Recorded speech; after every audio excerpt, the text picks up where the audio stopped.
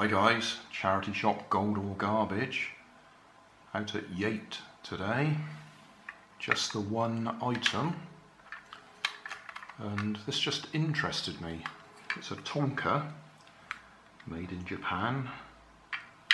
Number 172. It's a friction powered car, or flywheel. But it's got a little twist to it that makes it just that little bit more interesting. So you build it up by spinning it forward and you can probably hear the flywheel going inside but the wheels aren't turning.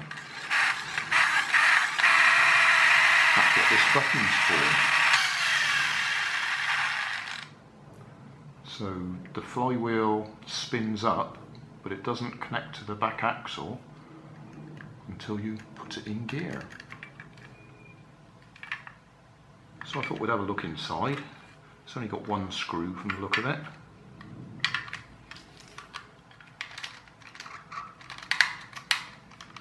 Ooh. What sort of screw is that? Uh-huh. I've got to have a look.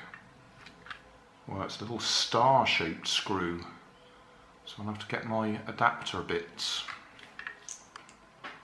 Right, well none of my star adapters will actually fit into the hole, they're not long enough. But this hexagonal key does fit into the middle of the star and it gives me enough to be able to undo it.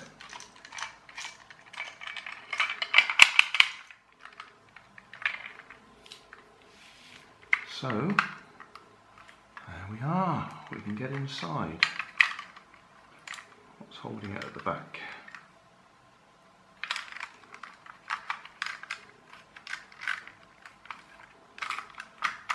There we go. A bit dusty in there.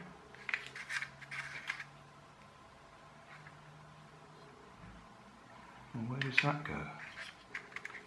That just pushes on there. I've put a spotlight on so we can try and see a bit more detail. We've got this nice plastic cover to keep the dust out of the works. And we've got the flywheel here. It's all held in place by a rivet there so I can't take it apart any further unless I want to drill that rivet out. And I don't really want to do that because this is working fine as it is. What we might be able to do is see a bit more detail though. Down this side, and point with a screwdriver. There's a shaft, you can just see the end of that shaft there. That one is in a slot that moves up and down and that's the one that engages and disengages the back axle. So as we turn the wheels they spin up the flywheel. And at the same time they push that shaft down out the way. So it's currently down out the way. If I push this lever on top you see that shaft jumped up and that engaged the back axle. So There'll be a gear on the back axle. There'll be a gear on that shaft.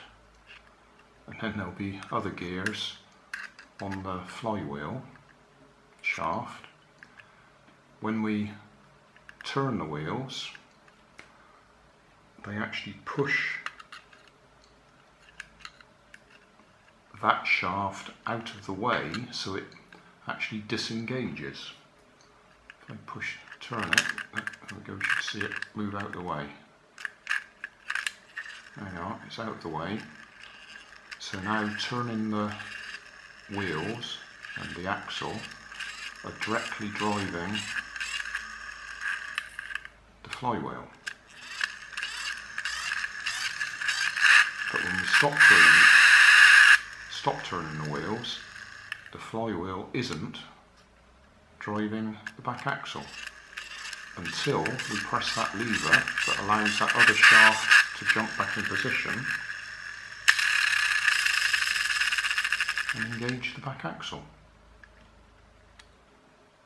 What I will do now is I'll try and clear this hair and that that's in there just to tidy it up and then we'll put it all back together.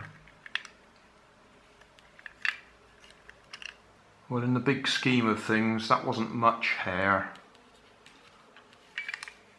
I've greased it up a little bit on the shafts. Actually sounds a bit quieter now.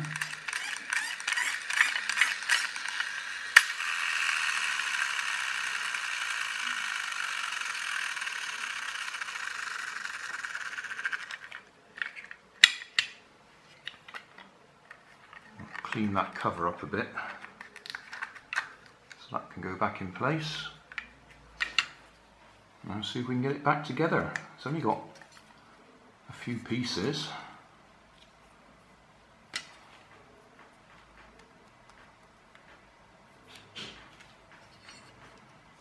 It sits up in there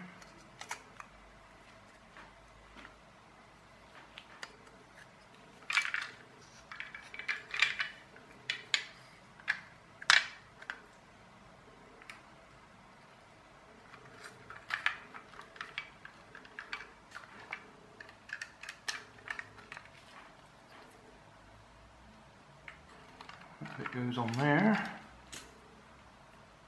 That screw goes in there.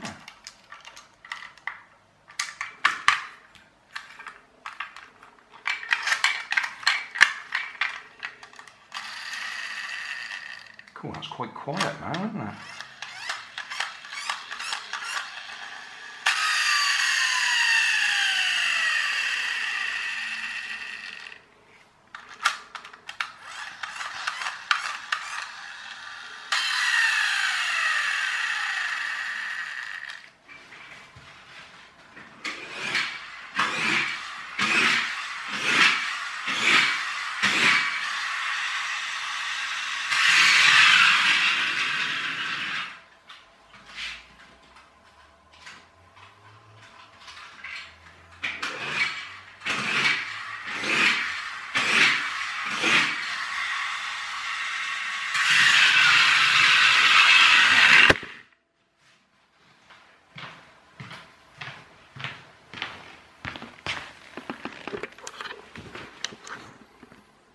Once I'd wound that up really well we just get wheel spin on my normal floor.